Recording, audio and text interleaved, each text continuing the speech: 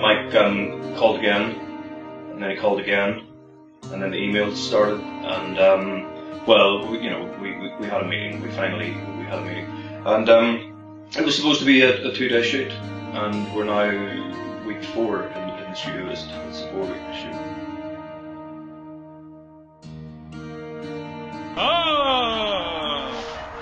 First, I had to overcome my ego and realize that this was about more than me, more than myself and my performance.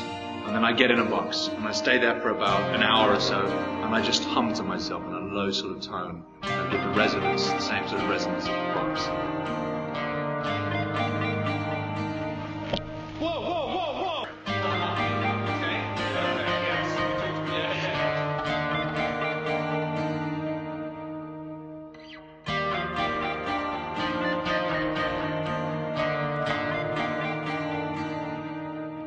People just kept saying to me, you know, why are you going to do a game about rectangles? They're not rectangles.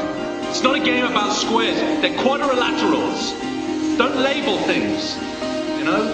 I think working with a box, the most important thing you have to do is you have to just drop the ego. You know, it's all about me. That's how actors are, and that's how I was. It's all about me and my big show. Well, no, not anymore. It's about them.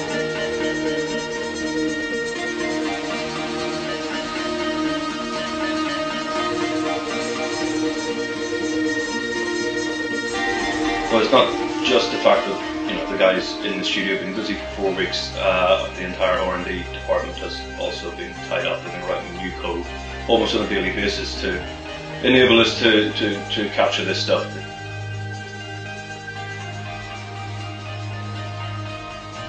We have disputes now and again. I mean, I mean, we love each other. You know, it is. It's a very good relationship, but, but we argue a lot.